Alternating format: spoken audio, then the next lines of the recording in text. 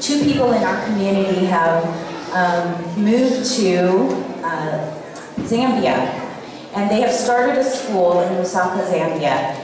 And when they heard about this show, um, the kids were so excited, and so we're videotaping tonight because we're going to send it to them so that they can see, but they wanted to send you um, a present because I told them uh, it, it, was run by Joy and Ken Hoffman. I just wanted to make who, who did it. Um, they are now teaching in Zambia, and they have opened a school for children who are in, um, who have no education and um, live a dangerously poor, poor life. So the children there would like to wish you a Merry Christmas, and so they sent us this video.